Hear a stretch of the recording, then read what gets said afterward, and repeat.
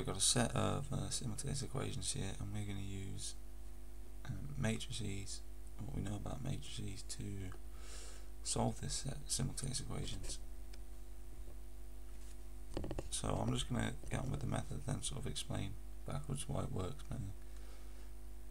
So we'll take a matrix of the coefficients, so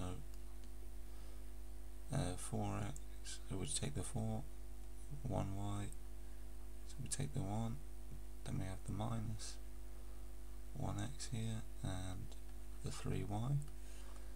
We multiply this by x and y, and this is equal to 11 7 right.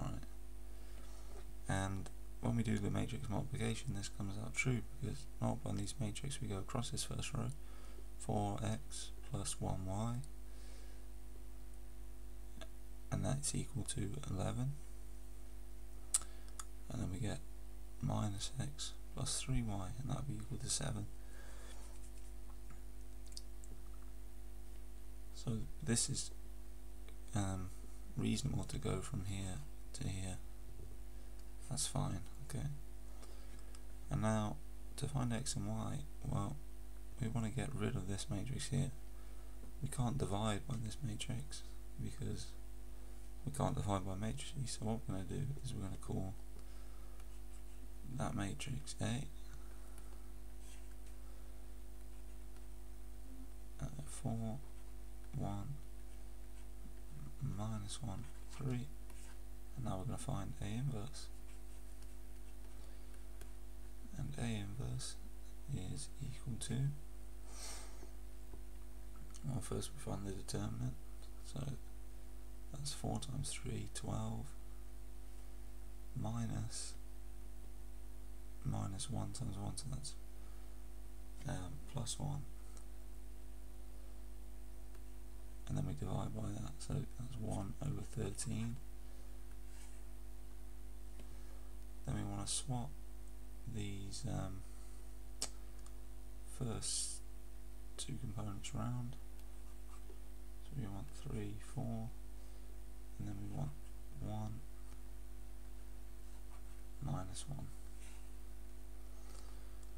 alright now when we multiply we're going to multiply this equation both sides of this equation by A inverse. Multiplying this left hand side by A inverse and we're multiplying from the front. Okay that's important. Um, that just gives us x, y on this side.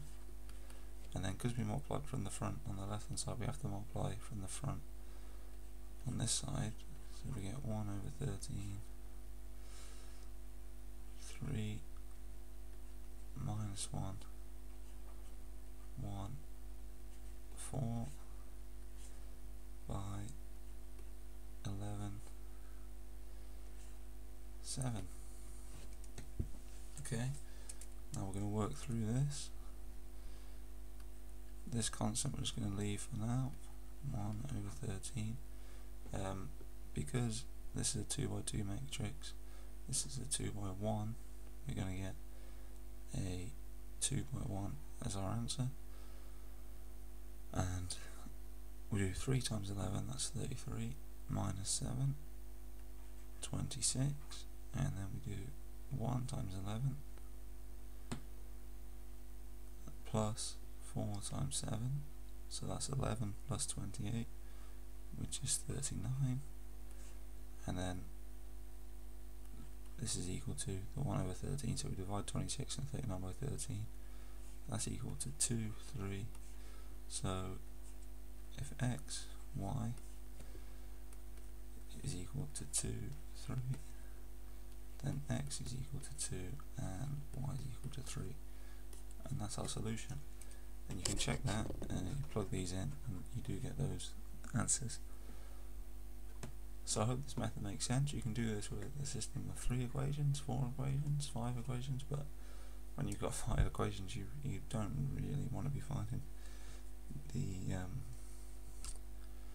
inverse of a matrix. So uh, well the inverse of a matrix in the way you've been taught to do it before, so we might go through some other techniques that you can use to solve systems of linear equations using matrices in future videos. I hope you enjoyed this one. If it was helpful, then uh, please like and subscribe, and I hope to see you in the next one.